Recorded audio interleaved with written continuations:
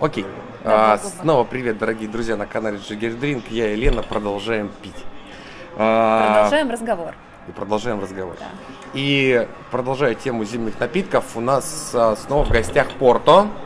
И это очень необычный порто от компании, которая уже в 2016 году исполнилось 200 лет. Называется это Quinta do Infantado. А, и Quinta по-португальски означает примерно то же самое, что во Франции означает шато. То есть вино, сделанное от и до, здесь даже написано, что оно бутилировано на хозяйстве, estate bottle по-английски mm-hmm. написано, а, и это продукт Single Kinda. То есть только, собственно, виноградники сами делают вино, сами выдерживают, сами его бутилируют, и все это происходит непосредственно на кинта, то есть на хозяйстве. Mm-hmm. То есть это полный аналог французского шато. Чем еще интересна Кинта Инфантада? Дело в том, что это семейное винодельня, начиная с конца 19 века, принадлежит семье Розейра, и сейчас и э, управляют брат э, с сестрой Джао и его сестра э, Кэтрин. Вот, он главный винодел, а она руководитель компании, что очень не характерно. Вот, и э, что нужно еще знать про Кинта Инфантада? Дело в том, что это хозяйство э, делает очень интересный стиль порта.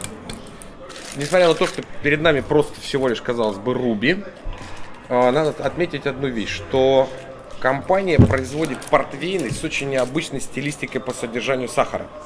Что отражено на этикетке? На этикетке написано medium dry, полусухой. Uh-huh. Но в порто полусухой, чтобы было понятно, стандартное содержание сахара в порто это 90-100 грамм сахара на литр. А, полусухим считается стиль, где 60 грамм сахара на литр. Угу. Что это дает? Это дает возможность аромату и вкусу раскрыться больше и сахар, чтобы меньше застилал аромат и вкус во рту. Окей. Руби. А, находится компания, собственно, виноградники в местечке Пинхау. Это такое место, где растут одни из лучших виноградников в Порто, в долине Дуора в Порто.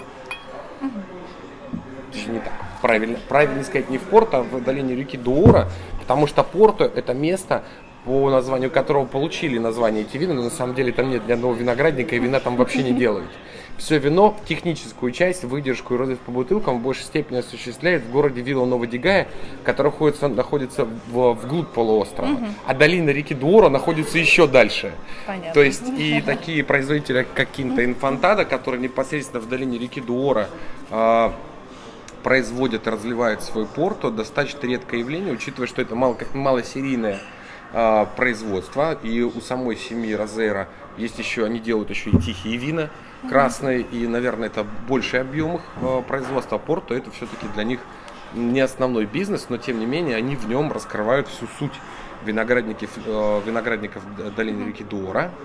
И Порто это символ Португалии определенный, правильно? Поэтому ну такой национальный, да, да, конечно, да, да. Мы все знаем португальское виноделие именно в первую очередь через Порто.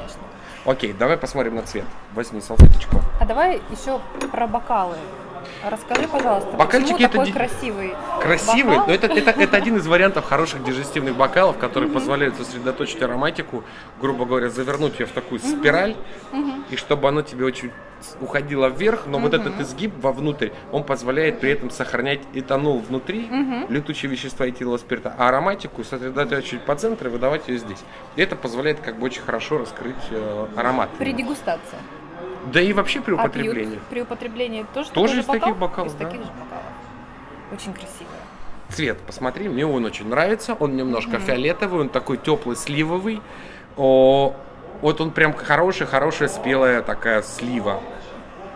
Южный очень такой теплый цвет. Ты думаешь слива? Мне кажется, в гранат немножко уходит. Может такой быть, гранат. Насыщенный гранатовый цвет. Но мне фиолетовые оттенки да? видятся очень хорошие сливовые. Здорово. В любом случае цвет очень приятный, очень располагающий. Он очень ровный, глубокий, в нем нет каких-то искажений. Угу, угу. Это здорово. Да, очень красиво. Отлично. Давай послушаем его.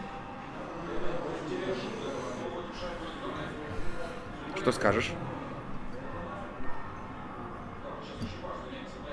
Пахнет очень хорошо. Вот спирт вообще не чувствуется. А чем алкоголь. Пахнет? А пахнет? Между прочим, 19,5% алкоголя в вине. Но это нормально но, для но порта. не чувствуется. Я не чувствую тут какой-то алкогольный аромат. Я чувствую здесь гранат. Какой-то такой фрукт. Спелый. Хороший спелый э, Да. в красный фрукт, в том числе и гранат, я с тобой согласен. Но мне еще почему-то кажется Слива. чер- черемушка. Нет, вот прям черемуха, Может быть, черемуха. да. Хорошая спелая ежевика. Такой, знаешь, даже не ежевика, а ежевичный пирог. Мгм. То есть такие темные, насыщенные. Да, фрукты. такие концентрированные Ягоды. оттенки черных и красных ягод. Но вот каких-то смородиновых оттенков нет, но вот Нету. гранатовые какие-то такие. Гранат и с- э, черешня. Черешня, Мгм, да. Такой оттенок. Может быть, слегка-слегка подсушенных травок немножко, ну прям совсем чуть-чуть, очень пикантно добавлены в эти черные э, плоды. Ну вот трава я тебе не могу сказать, что я чувствую, но больше какой-то фруктовый аромат. Причем спелый, насыщенный, такой вот созревший хорошо. Даже фрукт. немножко цветочков я уловил каких-то интересных, напоминающих цветы яблока. А, в такие вот, даже не яблоко, а вот как кожура спелого красного яблока. Вот ты его нюхаешь, вот такой Мгм. прекрасный аромат совершенно. приятный. Он ровный, не, нас, не, не агрессивный, очень приятный. Давай пробовать. Давай.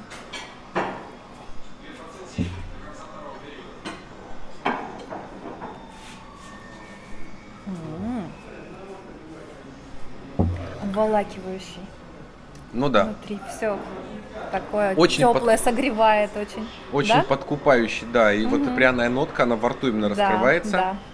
Появляется чуть-чуть перчика, больше сухой травки.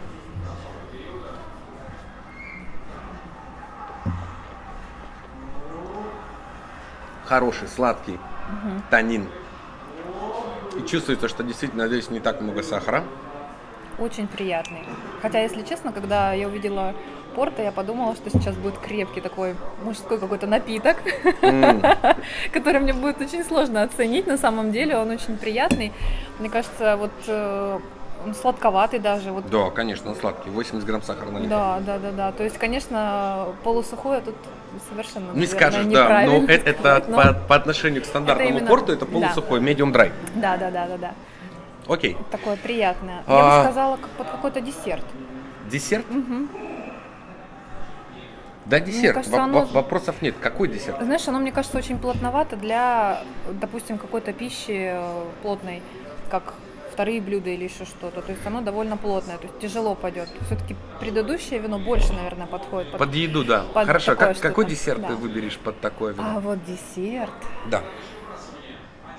Возможно, какой-то легкий пирог с мороженым. Вот есть такие С десерты? мороженым? Да, да, да, да. Я бы с мороженым смешала. Хорошо. Мне кажется, вот Ну, отлично. Вообще порто всегда рекомендуют сочетать с шоколадом, но я вот сейчас не скажу, что это для шоколада порто. Для ши- вот для порто, Что-то должно для шоколада полегче. должен быть все-таки тони. В большей степени порто, не руби. Но для меня сыр с голубой плесенью number one. Если, конечно, вы будете в Португалии или в Испании, купите обязательно, если вы там кабралис.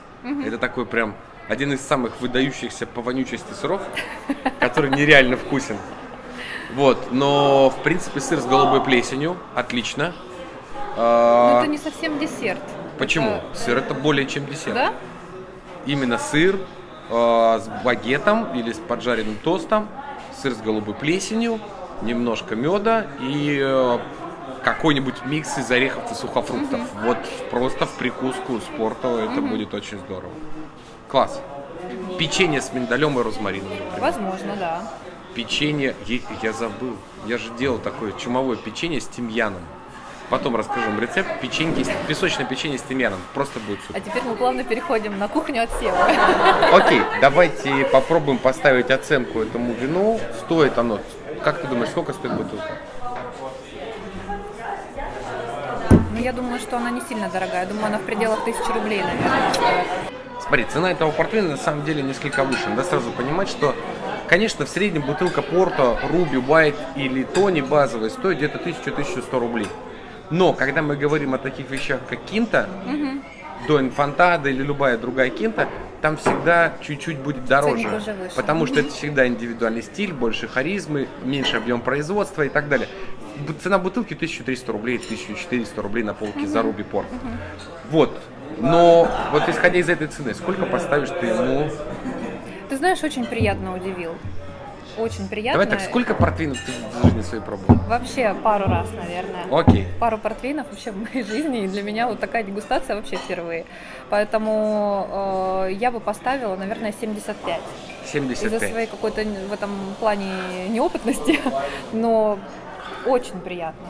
Я думаю, ты поставишь оценку выше, потому что ты, конечно, более такой. Да, я большой фанат портвейна. Я уже, я уже в прошлый раз об этом говорил. Я фанат Порто, и я могу точно сказать, что по своим характеристикам, по своей харизме, э, ароматике и сложности, этот Порто, несмотря на то, что всего лишь Руби и не самый дешевый, совершенно спокойно можно ему поставить 90 баллов. Это действительно уникальный продукт в классе Руби. Вот такая оценка за этот Порто. Пьем дальше. Давай. Зима на дворе. Ну, почти весна уже. У нас еще неделю будет жуткие морозы. Выпуск-то весной выйдет. Нет? А, вторник будет, да? Окей. Это еще зима. Да, да, да. Окей, Ладно, давай, давай. отбивочку. Спасибо, что были сегодня с нами. Лена, Спасибо, что пригласил. с новым порто тебя. Спасибо. Ой, какая прелесть. Да. Спасибо, что были на канале Джиггер Дринк. Продолжайте смотреть наши обзоры и пейте портвейн, пока не настала Пейте весна. хорошее вино, хороший алкоголь, портвейн, все что, все что угодно. И смотрите канал Джиггер Дринк. Ура!